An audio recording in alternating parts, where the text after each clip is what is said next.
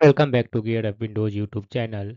In this video, we will guide you on how to enable battery saver in Opera GX browser on Windows 11 or 10 PC. For this first open Opera GX browser on your Windows PC, then click on this one menu icon in the top left corner. Then click settings in the drop down menu. Under Opera GX setting, click this one privacy and security